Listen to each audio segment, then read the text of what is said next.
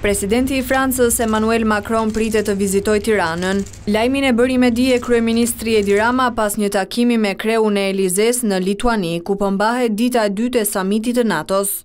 Në njoftimin në rrjetet sociale, kreu i qeverisë nuk bën me dije datën e vizitës, por vetëm shkruan se Emmanuel Macron po përgatitet për vizitën në Shqipëri. Kjo do të jetë hera e parë që një president francez zhvillon një vizitë zyrtare në vendin tonë. Në Tiranë Macron ka qenë vetëm një herë, por jo në një vizitë zyrtare, por në kuadër të samitit të Bashkimit Evropian me Ballkanin Perëndimor në dhjetorin e vitit të kaluar. Kur ende nuk ka një datë, mbetet për t'u parë se cila do të jetë agjenda e takimeve të presidentit Macron.